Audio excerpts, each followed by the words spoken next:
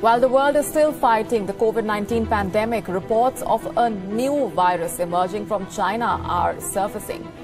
As per the Chinese mouthpiece Global Times, a new type of virus, which is passed through tick bites, is spreading through China. Now, this virus has already killed at least seven people and more than 60 have been infected.